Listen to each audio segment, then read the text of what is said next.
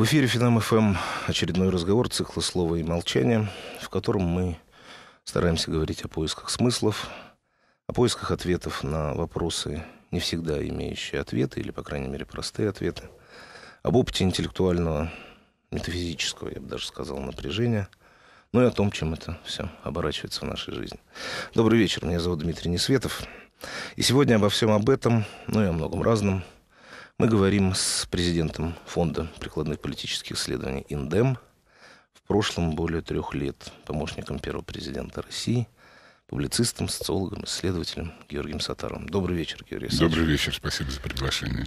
Спасибо большое, что пришли. Э, тем много, поговорить мне хотелось бы э, действительно о всяком и разном. Э, с вами в первую очередь, наверное, о таких вещах, как таких непростых материях, как природа власти, как трансформация элит, как э, возможность социальных изменений. Надеюсь, обо всем об этом мы еще поговорим, но у нас э, есть такое небольшое препятствие под названием Григорианский календарь, который, к сожалению, обращает на себя внимание. И э, этими днями, а наш эфир э, 9 декабря, э, эти дни необычные, очень непростые, заставляющие кое о чем задуматься. Так вот, 9 декабря, ровно 20 лет и один день тому назад, в э, Бескулях, Беловежской резиденции руководителей Советской Белоруссии, были подписаны соглашения о фактической ликвидации одной большой страны. Э, собственно, до формально-правового распуска СССР оставалось всего-навсего 17 дней.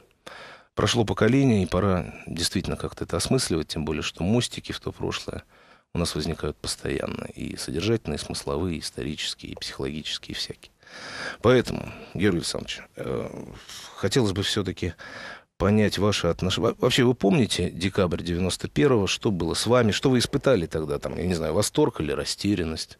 Ощущение э, победы или какое-то ощущение обвала и катастрофы? Или это прошло совершенно буднично?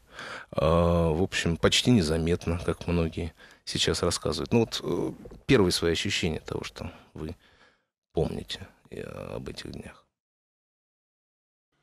Для меня Распад Советского Союза начался, естественно, раньше декабря, как и для многих других. Э, я напомню, что к тому времени, даже точнее, примерно конец сентября, начало октября, это был момент, когда о своем полном суверенитете и образовании самостоятельных государств – уже объявили не только Прибалтика, но и Республики Северного Кавказа. Уже на подходе была Белоруссия и Украина. И фактически, в общем, от Советского Союза оставалась э, Российская Федерация и несколько среднеазиатских республик. Mm-hmm. Ну, вот и все. А для меня это еще было драматично, потому что, давайте вспомним, что начиналось это все с Прибалтики. У меня да. там было много друзей, особенно в Литве. И один из моих близких друзей умер а, в Москве в больнице. У него открылась язва с огромным кровотечением, которое врачи были остановить не в силе. И она была чисто такого психосоматического происхождения. Uh-huh. Он переживал то, что происходило. И я его вез отсюда хоронить в Вильнюс. Угу. В хорошем месте он похоронен. Красивом. Вот. А, если поднять газеты, ну, скажем, там, вот опять там, конца сентября, допустим, да, 91 -го года, то мы увидим, например, э, заголовки примерно такого типа в разных газетах. газетах. Советского Союза уже нет, а они бла-бла-бла. Угу, угу. А, то есть вот это ощущение о том, что все, все. это рушится и этого уже нет, оно было абсолютно универсально, абсолютно отчетливо. Было, было ли это доминирующим ощущением? Конечно, нет. Потому что напомню, что доминирующим ощущением для всех, в том числе и для москвичей, в то время был голод. Угу. Натуральный. Угу. Это постоянная проблема, что поесть, чем накормить детей и так далее. Вот это было доминирующим ощущением. А это по необходимости было вторичным. И фактически после того, как э, в результате путча провалилась э, затея с новым союзным договором, uh-huh. а тут опять полезно поднять газеты, э, стало быть, конец июля, э, когда они уже все договорились, и разбегались немножко отдохнуть перед подписанием, чтобы посмотреть, с каким оптимизмом те, кто подписал, и, например, Ельцин, с каким восторгом, оптимизмом, надеждой, а они говорили о том, что вот, все, наконец мы договорились, угу. союз, ну вот, хотя бы такой спасен. Да.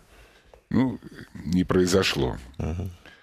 А, это если говорить о событийной стороне, а если говорить о каких-то серьезных факторах, да, так вот, э, надо заключение сделать. Uh-huh. Конечно, то, что произошло в Вискулях, это был не, не акт распада, это был, был патологоанатомический акт. Uh-huh. Они просто подвели черту. То есть вот, зафиксировали то, Зафиксировали статус-кво uh-huh. и э, нижайший им поклон. Потому что распад любой империи это всегда э, очень тяжелая вещь uh-huh. и большая трагедия. Они смогли, эм, оседлав, используя эту волну и договорившись, сделать это максимально мирно.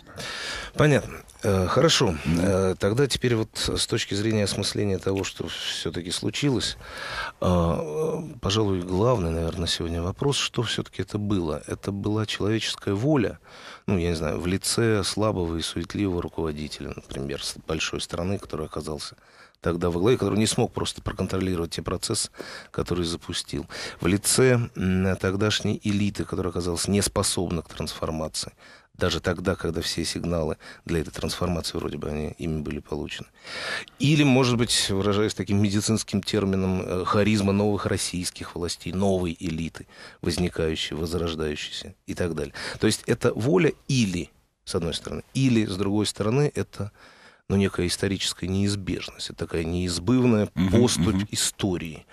А, таким образом, в, в этой коллизии возникает всегда очень простой и понятный вопрос. Был ли шанс у СССР? Или этого шанса исторически не было? Вот с вашей точки зрения. Э, я вернусь к шансу, который давал союзный договор. С моей угу. точки зрения, он мог оттянуть распад Советского Союза, может быть, сделать его э, более спокойным, плавным и технологичным, что очень важно. Ну, конечно, вершина технологичности — это создание британского содружества на, ну, месте, да, на да, месте Британской, Британской империи. империи. Угу. А, конечно, есть и такие драмы, как распад французской да. империи, война в Алжире и так далее. Угу. Но в промежутке есть много всяких вариантов. Мы, конечно, в промежутке, но если бы был союзный договор, мы бы сдвинулись, конечно, ближе mm-hmm. к распаду Британской империи. То, что империи распадаются, это историческая неизбежная закономерность. То, что э, Советский Союз был империей, это абсолютно тривиально. То, что он был империей, еще к тому же нагруженной фантастически неэффективной политической системой, неэффективной в смысле адаптивности. Это uh-huh. то свойство, которое абсолютно необходимо в современном мире. Советский Союз распался в том числе и потому, что эта система была не способна на институциональную адаптивность. А, и э, поэтому Э, собственно, и состоялся приговор. Э, а дело в том, что революция — это всегда приговор, ровно да. тому, что вы спрашивали. Uh-huh. Потому что революции происходит тогда, когда система не в состоянии ответить на вызовы, и элиты, как часть этой системы, не в состоянии ответить на вызовы. И тогда поэтому, а не по какой-то злой воле, угу. происходит революция. Я напомню, Октябрьская революция произошла для большевиков абсолютно неожиданно. Неожиданно, конечно. Это знает любой маломальски да, образованный да, историк. Да, да, да. И это касается любой революции. Революцию называют революцией после того, как она произошла, а не до, э, в результате реализации плана каких-то демиургов. Да? Ну, то, точно так же и, как сказал Алексей Михайлович Салмин, с великой буржуазной э, российской революцией конца 20 века. Mm. Или он ее еще называл э, первой великой революцией постиндустриальной эпохи. Mm. Это было неизбежно, это был ответ на неспособность э, эту систему сделать эффективной. Ну и вообще хоть какой-то адаптивный. Понятно. Да. Я все эти э, вопросы задаю не э, исторической блажи, естественно, ради, а в связи с тем, что э, есть во всех этих вещах мостик к тому, что происходит сегодня. Да, вот, к сожалению. К сожалению. Последнее время, как вы знаете, прекрасно российские э, суверены начали убеждать своих подданных и опекаемых в том, что э, то, что произошло 20 лет, это 20 лет назад, это крупнейшая геополитическая катастрофа и прочее, прочее. Причем подтверждая эти убеждения, э, ну, такой активный, активными интеграционными потугами угу. или потугами, э, ну и так далее. Э, как вы оцениваете, какова цель этой риторики? На кого она рассчитана? Неужели они до такой степени нерефлексивны и неадекватны, что все это как бы всерьез? Ведь, э, понимаете, за оценкой следуют действия. Если общество, значительная часть общества, по разным причинам, через 20 лет начинает разделять эту позицию о том, что это была геополитическая катастрофа. А катастрофа, что такое катастрофа? Катастрофа это то, что можно было предотвратить. И если бы это было предотвращено, то у нас бы немедленно наступила, спустилась бы благость, наступили бы именины сердца и все прочее. А, а если они преуспевают в этой убедительности, в этом убеждении, значит, за этим следует действие. Так вот, э, мы вроде бы с вами понимаем, что это не катастрофа, это естественный ход вещей, э, который там в той или иной форме был, эм, ну, как-то выстроен, как-то придуман, как-то обозначен. Спасибо, что не так, как там, я не знаю, в семнадцатом году, да, или как в Югославии. Это мы с вами тоже понимаем. Так вот, с вашей точки зрения, какова цель этой риторики? Зачем? А, ну, это такой судорожный поиск каких-то квазиидеологических обоснований э, собственной власти, поскольку с легитимностью у нее большие проблемы, и она постоянно в каком-то поиске. Э, вот это апелляция э, к имперскому прошлому, это такая попытка, она абсолютно Э, стандартная, э, ведь в том числе и при каких-то социальных потрясениях, те, кто встает кормило во время этих потрясений, они тоже ищут какой-то поддержки из прошлого. Как, скажем, это происходило во время Великой Французской революции. такой, там был такой новый взлет Ренессанса. Да. Э, апелляции к античному прошлому uh-huh, и так далее, и так далее. Ну, то же самое было в Третьем Рейхе. Да, абсолютно верно. Да. Это, это uh-huh. абсолютно стандартный рефлекс. И действительно, тут апелляция к катастрофе с точки зрения уже какого-то серьезного подхода, она абсолютно бессмысленна. Я напомню об одной, например, такой катастрофе. Филогенез Э, на территории земного шара был очень сильно изменен в результате падения гигантского метеорита. Mm. Есть такое подозрение, что вид Homo sapiens не возник бы, если бы не падение. Не а какая была катастрофа? Уж распад Советского Союза по сравнению с ну, этим, да. это просто быта, даже да. не легкий насморк. Угу. Вот. Э, поэтому Э, в сфере социального тоже существуют такого рода события, но их оценка э, условно-этическая, но она всегда натянута. Нет, это попытки такого удержания власти в сфере э, борьбы за умы, не более того. Угу. Хорошо, и закрываю эту очень непростую тему, да. хотя ее за закрыть довольно трудно, и так или иначе люди э, чуть более старшего поколения все равно возвращаются к ней. Тем более, что э, действительно существует представление о том, что с точки зрения устройства государственной конструкции там все сильно поменялось, с точки зрения территории тоже, а с точки зрения отношений отношений там, общества и власти изменилось немного. Но об этом мы, я надеюсь, еще поговорим. Так вот, закругляя эту тему, знаете, что меня во всей этой истории больше всего поразило? Я тоже хорошо помню э, вот эти, декабрь 91-го. Меня действительно как-то поразило, я еще сравнительно был молодой человек, но уже вполне такой сознательный. Меня поразила абсолютная будничность того, как это произошло. Да, абсолютно как, бы, как, как будто так и должно быть. По этому поводу э, в свое время очень смешно написал Александр Генис, э, писатель наш замечательный, который специально для этой цели, с этой целью приехал в конце декабря в Москву с тем, чтобы свои своей дальней эмиграции, э, с тем, чтобы посмотреть, как это происходит. И вот это его потрясение от того, что он пришел вечером 25 декабря на Красную площадь, не нашел там ни одной живой души, ни милиционерской, ни обывательской, никакой. И в этой такой полумгле вечерней, аккуратненько, полвосьмого вечера, по-моему, э, спустился красный флаг, поднялся триколор, и, и все. все. И он говорит, я ждал крещенда, пишет Генис, и в итоге пошел пить водку. Э, э, а, он, кстати говоря, э, по этому поводу, вернее, эту историю включил в обоснование того, что далеко не все видят очевидцы в этой жизни. Потому что считают, очевидец он, и это видит, он при этом присутствует, и так далее. Да ни черта не видит очевидец, не чувствует он эту историческую поступь. Георгий Александрович, эм, все-таки все вот крупные события происходят, как вам чувствуется и кажется, так буднично или нет. Примерно такая же история, такую же историю вспоминают там, в том же самом 17 году, в феврале, когда, или там в марте уже, как, как, когда э, кронштадтские какие-то, кронштадтская флотилия приехала поддерживать там временное правительство, а там революция в стране жуткая, а, а обыватели питерские вышли на набережную э, Невы и чепчики бросали, думали, что это военный парад, ну и так далее. То есть много этих историй. Э, поступь историческая действительно незаметна. Вот вам как исследователю, как и историку, и социологу. Нет, как когда, ее расчухать? Когда как? Когда как? А, она, вы знаете, тут ведь очень просто. Она заметна тогда, когда в этом участвуют люди. Угу.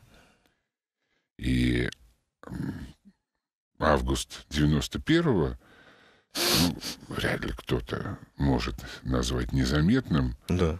И не только в Москве, в Питере или в Барнауле. Uh-huh. И тогда, там тоже были свои переживания и события по этому поводу.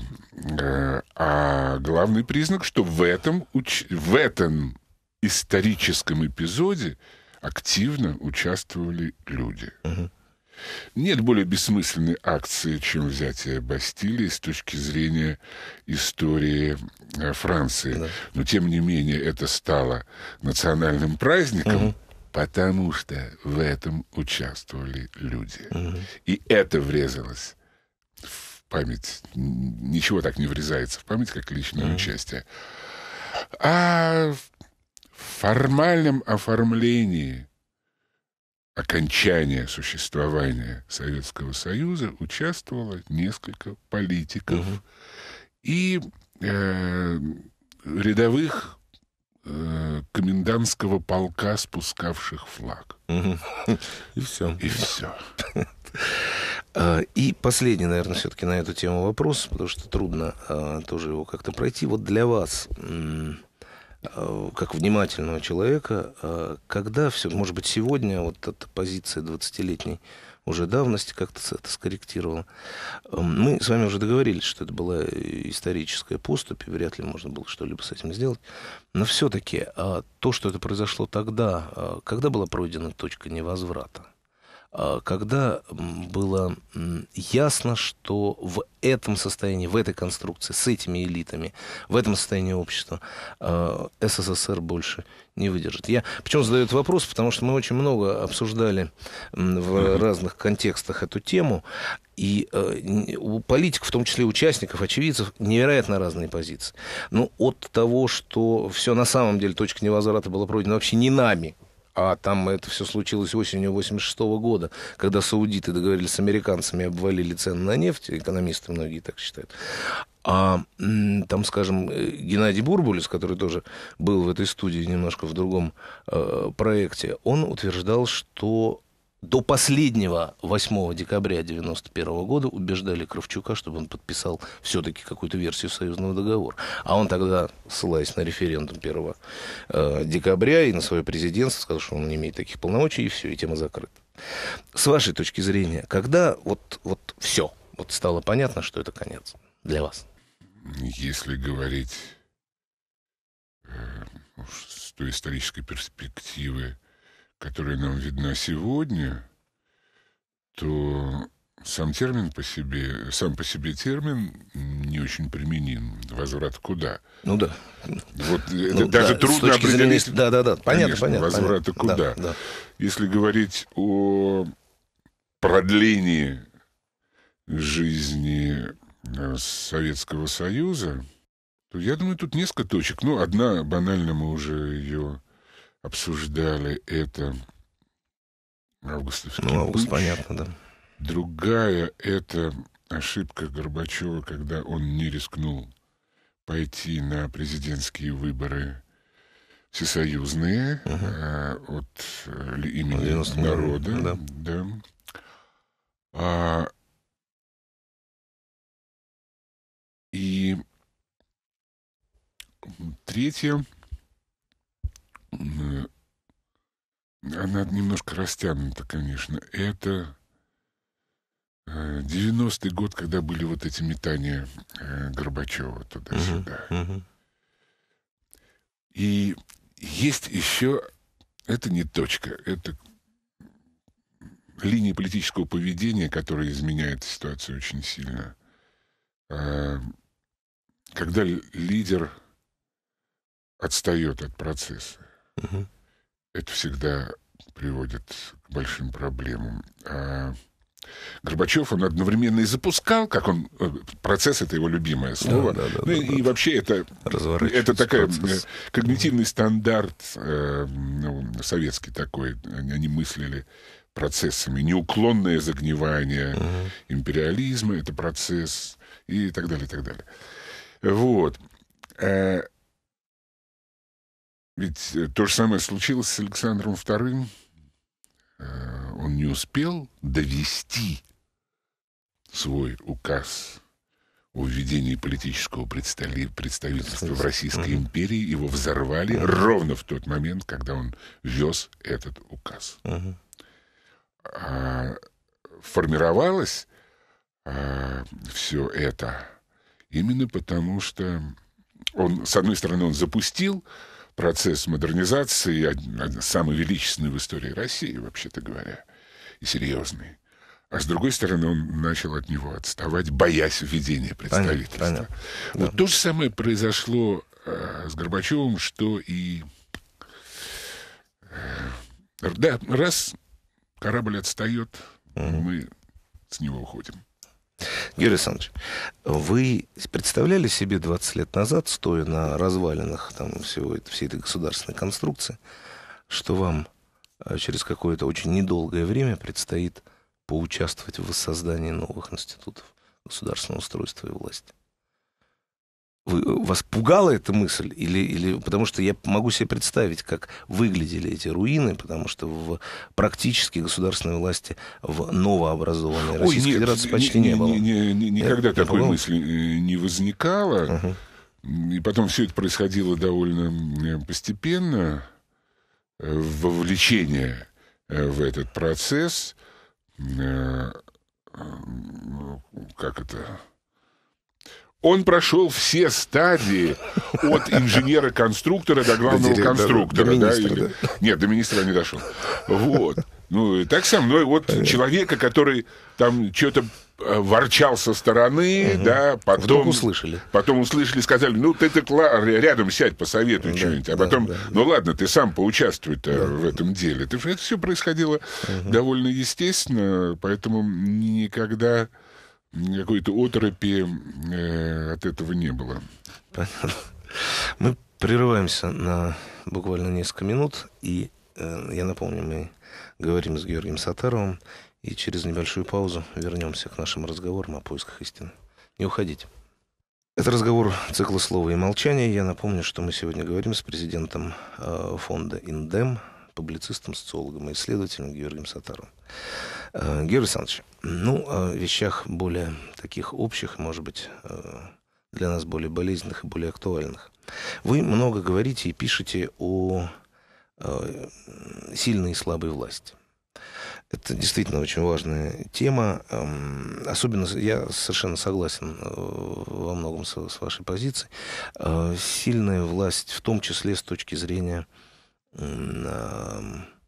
ну, что называется, вернее так, э, свидетельство слабости, состоящее в некой иллюзии тотального контроля, который в том числе, которым, э, э, к сожалению, болеют и очень многие власти, в том числе и наша сегодняшняя, то, что мы сегодня все это видим. Так вот, да, согласен. Обожаемый мною Николас Луман, тоже великий немецкий социолог, которого вы довольно часто цитируете. Я помню эту замечательную мысль о том, что сила власти определяется тем объемом степеней свободы, который он предоставляет обществу. Конечно. Я в свое время, начитавшись всяких там историософов, там от Тойнби э, с э, там, Шпенглером до, до Гумилева, тоже для себя определил такую простую и грубую э, типизацию власти, что власть бывает очень слабой, и таких примеров много, там, не знаю, Временное правительство или последний год Горбачева. Э, власть слабая, та самая, которая испытывает ту самую иллюзию тотального контроля, и, наконец, власть сильная, та самая, которая отдает значительную часть функций э, регулирования э, собственного порядка на самоорганизацию общества. Все так. Спору нет. И, и я согласен с вами, с Луманом, и спорить даже не хочу.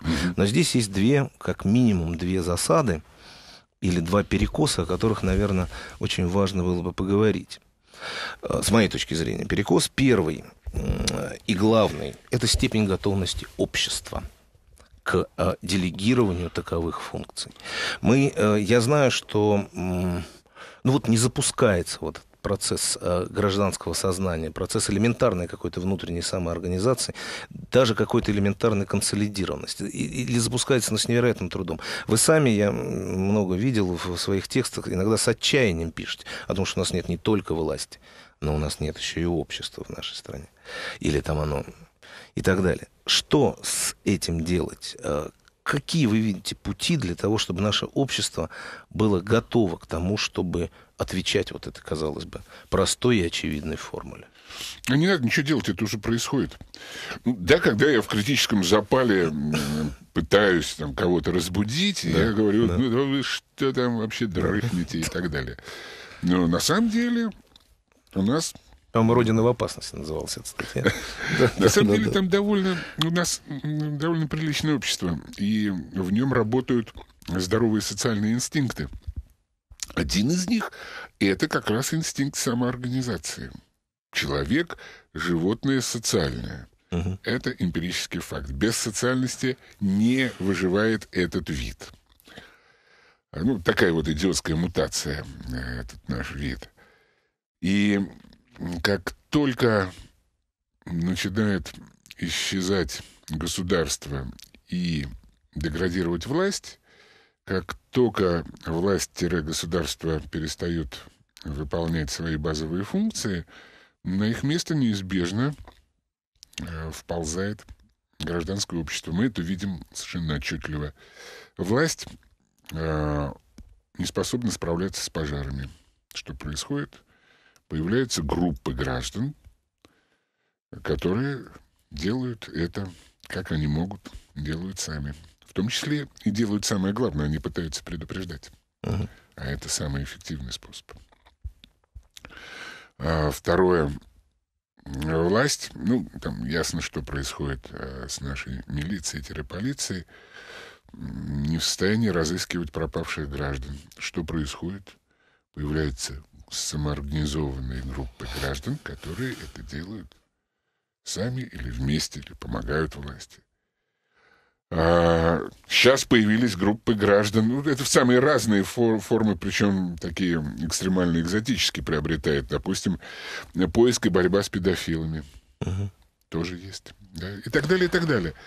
А, и а, я уж не говорю про уже укоренившиеся стандартные правозащитные функции и прочее, прочее, которые тоже начали расширяться и укореняться именно потому, что в 90-е годы эм, государство, тогда еще существовавшее, уходило из этой сферы, освобождало зону для действий, туда врывалось на плечах э, уходящей власти врывалось гражданское общество. Угу. Это нормально вполне. Оно существует. Тут, э, понимаете, нам нужно различать а, две разные категории. Историю не делают большие полки. Угу. Историю делают несколько процентов граждан. И эти несколько процентов они никуда не исчезали.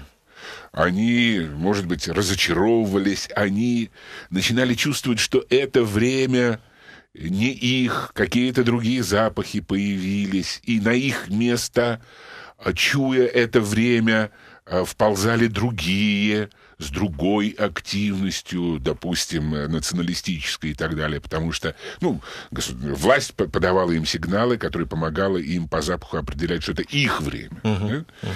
Сейчас ситуация меняется снова, и мы отчетливо, этого, отчетливо, отчетливо это видели на прошедших недавно парламентских выборах. Э, поэтому ничего не надо искусственно делать. Э, и участие, не участие, это личное решение каждого. И сейчас отчетливо, опять же, видно, как начинает это участие проявляться. А, это э, э, эти полуумки наехали во время выборов на э, совершенно безобидную организацию «Голос», занятую святым делом и тут же получили такой обвал в Ютьюбе угу. снимков а, всего этого бедлама с нарушениями законов, угу. который бы они никогда не получили, если бы все было тихо, и если бы перед этим, кстати, не было опыта использования своих а, смартфонов для решения других социальных задач, допустим, для борьбы а, с этими мигалками там, и uh-huh. так далее, и так далее. Вот а, они просыпаются, они действуют, потому что снять и вывесить — это уже очень серьезное действие. Поэтому я... Понятно, э, понятно. Но ну, меня беспокоит вот что. Я, я прекрасно понимаю, я вижу, что эта жизнь есть, она действительно как-то теплится, какая-то самоорганизация происходит.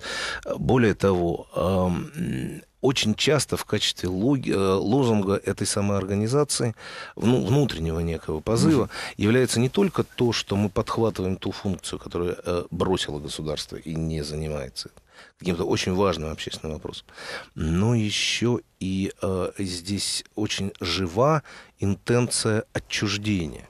То есть мы э, варитесь в своих э, шапито под названием выборы, политическая власть, там чем угодно, сами. Без, милиция, охрана э, гражданских свобод, охрана права на жизнь, на здравоохранение и так далее, и так далее. Варитесь сами. Мы, мы разберемся без вас.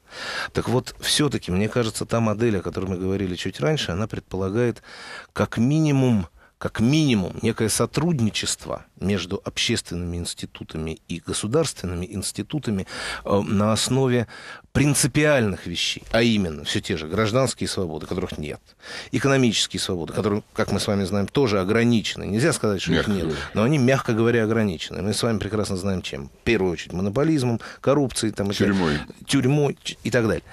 Э, вот здесь это ощущение отчуждение от того, что есть эти э, небольшие функциональные институты, которые существуют в каких-то пространствах, оно не уходит. Я прежде всего говорил не о способности общества самоорганизоваться в чем-то, а о самоорганизации общества, о принятии э, от государства неких функций без, ну, в процессе преодоления, что ли, этого отчуждения. Понимаете, о чем? Меня, понимаете, э, я, я объясню вам, что меня очень Я понял, дергает. понял. Э, Вот, вот две, буквально две детали. Э, Вот вы вспомнили Александра II. Две вещи вот об этом обсуждении мне в свое время очень так в молодые годы э, поставил, поставили мозги на место. Первая вещь, это вот как раз в связи с тем, о чем вы говорили, с реформами Александра II, замечательный есть крошечный диалог из чеховского «Вишневого сада». Если вы помните э, диалог Гаева с Фирсом, когда Фирс говорит о том, что вот и э, до беды был, до несчастья было, и сова кричала, и там самовар шумел, а Гаев спрашивает, до какого несчастья? До воли. И второй момент, который наверняка вы тоже очень хорошо помните, это зима, декабрь, по-моему, 93 -го года, когда после первого голосования вот этот крик отчаяния Юрия Федоровича Корякина «Россия, ты одурела». И вот эти вот несколько лет э, такого вроде бы живого самоорганизационного процесса, хотя все с тем же самым, вы об этом тоже пишете, с тем же самым патерналистским настроем, что, ребят, сделайте красиво. Красиво не получилось. И все. И вот эта э, корякинская фраза как-то для меня остановила этот гражданский процесс на какое-то время. То есть, вы понимаете, о чем я говорю? Вот об этом преодолении отчуждения. Возможно ли оно у наших обстоятельств? Извините за длинную формулировку, но просто это очень больная тема, важная. Ну, есть отчуждение и отчуждение. Мгм. Эм, вот известный анекдот. Э, В одной семье мальчик не разговаривал. Три года не говорит, пять не говорит. Вдруг в девять лет во время обеда он говорит, суп пересолен. Родители, бабушка, дедушка, ой, Вовочка, да как же так, а почему ж ты молчал раньше? Раньше все было нормально. А я к э, известному описанному в политической науке сюжету о том, что в эффективных а, демократиях э, снижается участие. Известный феномен. Да, это согласен.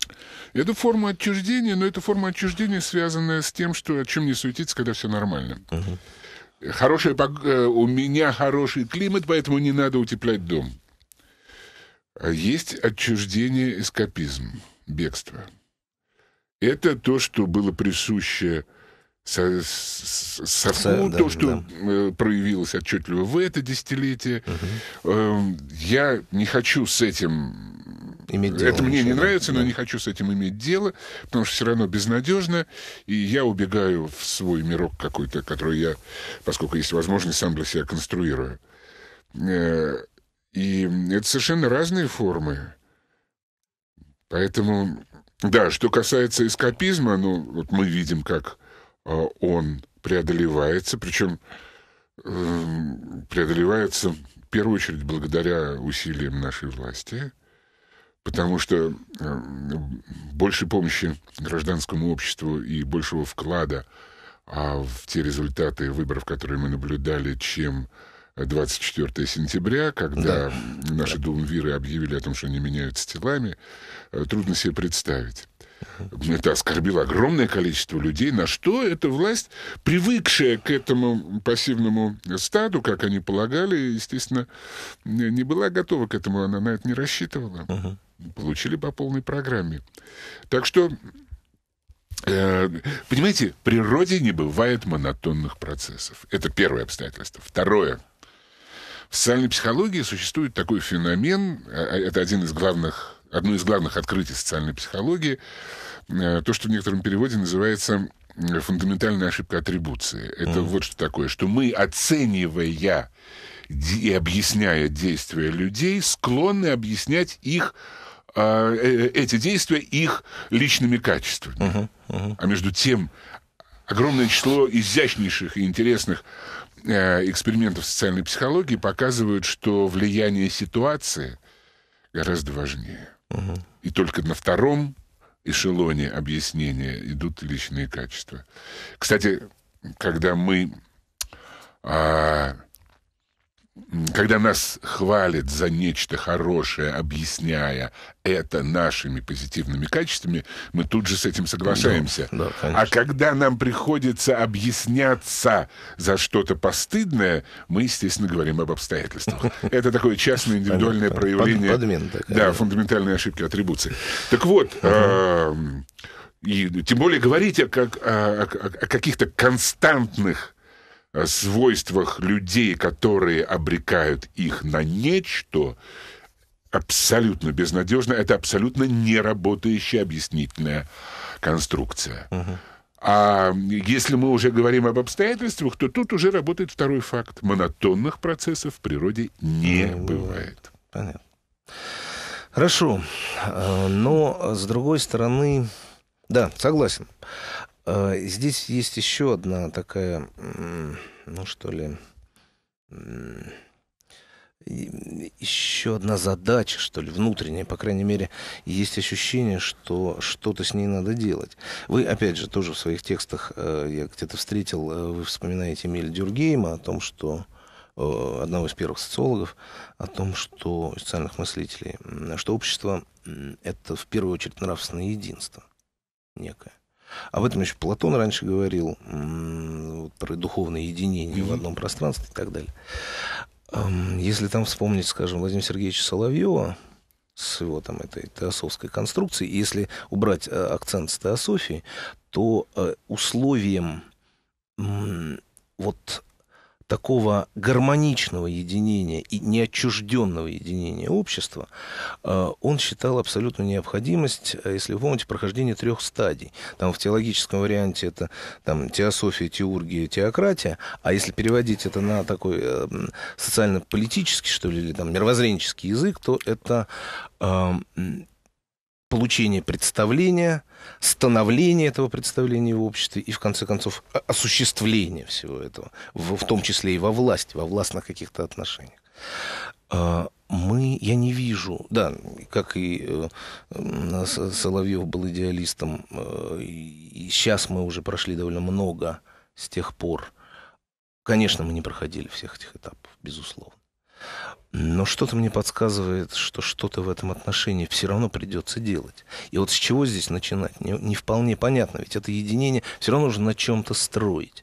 А я не говорю сейчас о национальной идее ни в коем мере, но о неком, некое мировоззренческое единство, мировоззренческое, общее мировоззренческое пространство, в конце концов. Ведь каким-то образом оно же должно строиться или нет? Ну, оно должно строиться, но, мне кажется, начинаться оно должно все-таки с морали.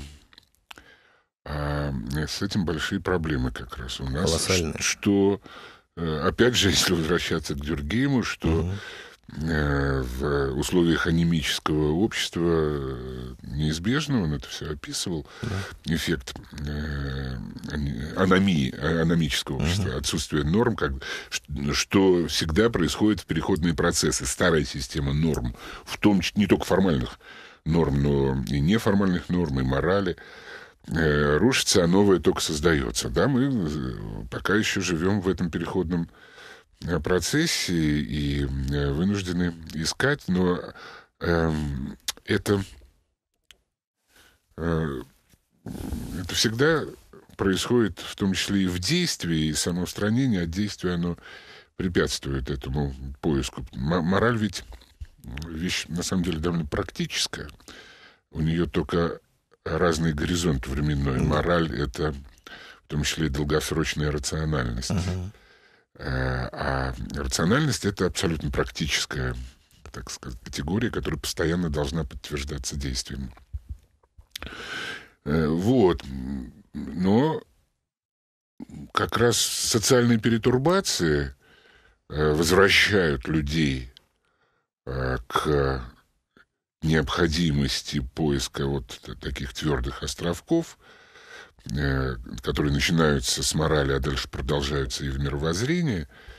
И сейчас это неизбежно будет происходить, конечно. То есть вы видите возможность того, что это начнет Это неизбежно, иначе социум не выживет. Понятно. Хорошо. Э, и вернемся тогда э, к, ко второй засаде, э, с, по моему ощущению, которая есть вот в этой нашей с вами, вернее, вашей с, с Ломаном модели о степенях свободы и, и силе и силе общества. Эта засада, она не национальная, не наша Палестина, это скорее глобального характера. И я бы ее сформулировал так, если коротко. Ну, скажем так, да, вот Сергей Сергеевич Аверин в свое время очень смешно сказал о том, что 20 век э, он скомпрометировал ответы, но не снял вопрос. Э, чудная очень мысль. Э, действительно, 20 век век модернизма, сейчас не будем туда уходить, он действительно пытался выстроить эм, социумы самого разного рода на основе там, некого конечного набора идей. Эм, там, коммунистическая идея, националистическая идея, либеральная идея, потом коммунистическая как-то там трансформировалась в социалистическую и так далее.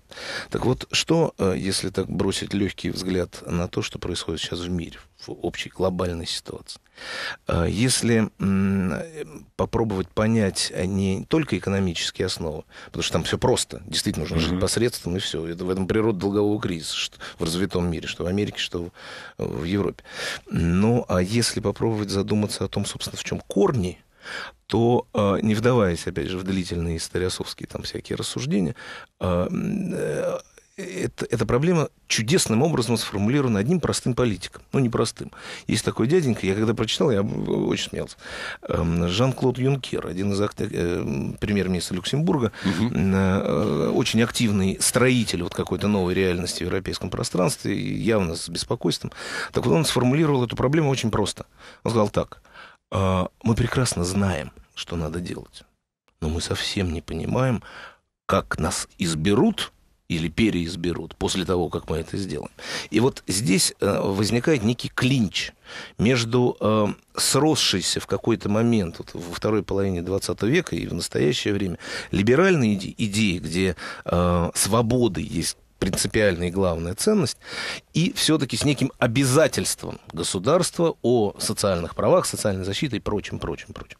И вот когда элементарная ответственность элит не позволяет им, сопоставив А с Б, принять некоторые решения, рискуя не быть избранными, и начинается вот то шапито, которое мы сегодня наблюдаем.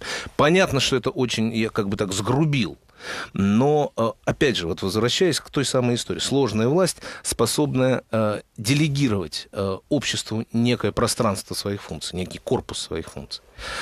Так вот, не возникает ли вот в этом, в том, что мы сейчас наблюдаем на неком глобальном уровне, ну, некого кризиса этой идеи и некой внутренней опасности, которая здесь существует, в том числе для самоорганизации общественного пространства. Никто ничего не может сделать. Вот все, все эти прыжки там Соединенных Штатов по поводу бюджета, понятно, что нужно резать, понятно, что нужно его, э, его, его сокращать. Ну, всем я, все это понимают. То же самое в, в евросообществе. И тем не менее никто не решается сделать всерьез. Ну, начнем с того, что я э, с э, легким подозрением отношусь к людям, которые говорят, что мне прекрасно ясно, что надо делать. Ну, да, понятно. Это раз. Да? Второе. Эм, когда они говорят, что вот э, мы знаем, что надо делать, но боимся, что нас не изберем, не изберут, ну, значит, ребята, значит, у вас интеллекта не хватает просто если вы не можете придумать, как вам сделать то, что вы считаете нужным сделать, и э, убедить э, людей э, согласиться с этим. Ну, извините, ну не хватает, значит, наверное, не надо вас избирать. Может быть, другие должны это сделать. Э, третье. Э, да, есть некий системный кризис западной цивилизации, мы сейчас о ней говорим. Но он связан не с этим, он связан с другим. И, на мой взгляд, это прекрасно описал Джеймс Скотт в своей замечательной книжке, которая а в русском переводе называется э, «Благими намерениями государства». Uh-huh. Это кризис государства модернах. И он абсолютно общий, э, он не зависит от того, реализуется этот кризис через коммунистическую идеологию, фашистскую, или через э, какие-то извращения либеральной идеологии. Это э, ну, неизбежный кризис, связанный э, с вырождением э, очередного эволюционного достижения в сфере социальной эволюции. Государство модерна там не больше 300 лет, а если уж говорить о его э, вот, абсолютно современной форме, то это вообще поствоенная конструкция после 45 года. Ну, да. И э, надо напомнить, что эволюция э, не рождает идеальных решений, не может их родить. Э, все эволюционные достижения несовершенны, рано, рано или поздно они демонстрируют свою несостоятельность. Государство модерна а, в, уже в 20 веке ярчайшим образом это продемонстрировало.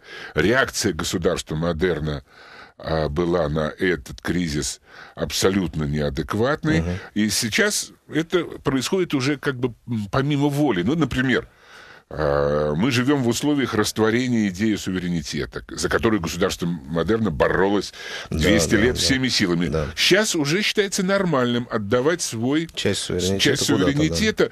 Да. Какая была фантастическая борьба между централизованным государством и феодалами за э, валюту. Uh-huh. За то, что только государство должно э, обладать этой монополией на выпуск своей валюты. Отдали, без проблем. Uh-huh. А это касается уже и сферы безопасности. Я уж не говорю технологических, информационных сфер и так далее, и так uh-huh. далее. Uh-huh. Это государственное модерна, которое привело к колоссальным катастрофам в 20 веке, уже начинает потихоньку исчезать. И вот это надо осознавать. И это в том числе предполагает и ответственность общества гораздо большую, чем это было в комфортных условиях да. формирования государств потребления. Это уже совершенно по-другому. Но пока... Вот, вот готовы ли к этому обществу? Вот беда. Вот к этой большей ответственности. Очень разлагает потребление. И царство этого потребления. Причем и мировоззренчески, и, и социально, и граждански. Всяко. А, если говорить о появлении новых идей, то да, существуют уже э, и лауреаты Нобелевских премий, которые пишут о, скажем, других э, экономических стимулах, да, помимо, роста потребления. Э, существуют идеи в других сферах. Э, поиск э, различных заготовок под будущее, он происходит постоянно, это неизбежно. А, как это будет входить в массы предсказать довольно трудно. И в каких практических формах это будет реализовываться, тоже предсказать довольно mm-hmm. трудно. Но постепенно а, начинать готовить людей к этому нужно. И если говорить о там, процессах социализации, то это прежде всего а, означает, что нужно объяснять подрастающим людям, что государство не является абсолютной ценностью, например. Угу. Понятно. Это очень важно. Хорошо. Георгий Александрович, э, не успеваем мы с вами поговорить о вашей замечательной гипотезе о природе социальных изменений. Я надеюсь, что это будет повод для э, того, чтобы еще раз увидеться. Эм, время заканчивается, почти практически закончилось. Последний вопрос, который да. не могу вам не задать. Вот вас, как человека, как, э, что называется, думающую боевую единицу, я бы так спросил. Что сегодня вот в эти дни, я не знаю, годы, минуты беспокоит больше всего? Что не дает спать? То, что у меня остается все меньше и меньше времени. Банально. Э, спасибо. Э, я напомню, что сегодня в цикле «Слово и молчание» мы говорили с президентом фонда «Индем», исследователем и социологом Георгием Сатаром. И я не могу отказать себе в удовольствии, чтобы не закончить нашу программу, крошечной цитаты из одного э, текста нашего сегодняшнего собеседника – там написано очень просто и понятно.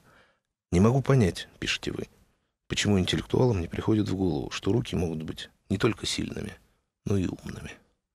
Вот на этой ноте я хотел бы закончить. Еще раз, Георгий Александрович, спасибо вам большое за участие. Я очень спасибо надеюсь, вам. не последний раз. А я напоминаю, что это было слово и молчание. Если вам вас заинтересовали темы и сюжеты нашего разговора, вы можете это продолжить на сайте Финам.ФМ. Мы услышимся с вами через неделю вновь, вновь на волнах Финам ФМ в программе «Слово и молчание». Меня зовут Дмитрий Несветов. Будьте здоровы, всего вам доброго.